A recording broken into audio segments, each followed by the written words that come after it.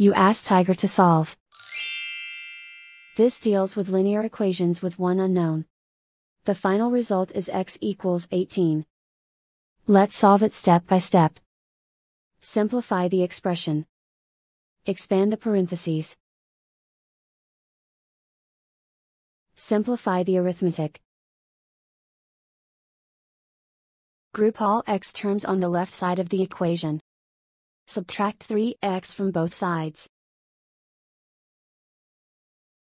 Group like terms. Simplify the arithmetic. Group like terms. Simplify the arithmetic. Group all constants on the right side of the equation. Add 10 to both sides. Simplify the arithmetic.